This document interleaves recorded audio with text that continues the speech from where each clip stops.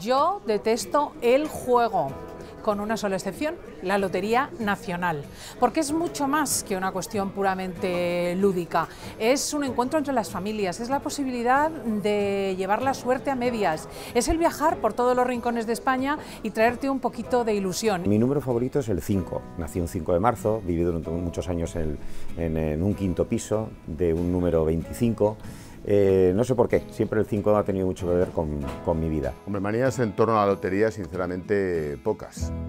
Más allá de comprar lo que compra mi entorno. No sé si por envidia, por celos o por si acaso, pero esa es la verdad. Bueno, para mí el día de la lotería es eh, el inicio de la Navidad, uno de los días más importantes, exceptuando evidentemente la, la Nochebuena y el Año Nuevo y el Día de Reyes, pero eh, siempre ha sido un día periodísticamente hablando, profesionalmente hablando, súper importante porque sabes que ese día seguro que vas a contar alegrías.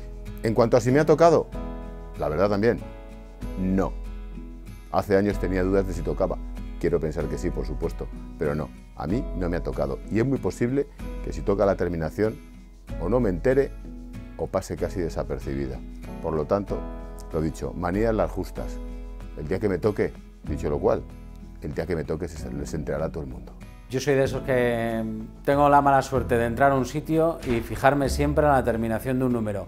Y si no tengo esa terminación, acabo comprándola. Al final me junto el día 22, del 0 al 9, con todas las terminaciones posibles. Pero aquí me veis, que no me ha tocado, habrá que seguir probando. Y luego el cabreo de mi mujer, siempre, todos los días, que no nos toca el día 22, cuando después de que todo el mundo está celebrando en la tele diciendo que les ha tocado el gordo y tal, el cabreo de ella diciendo que asco de vida, no me ha tocado nada. Y este año, en fin de semana, retransmitimos el sorteo, así que verdaderamente vamos a disfrutar hasta el fondo de esta muy españolísima tradición.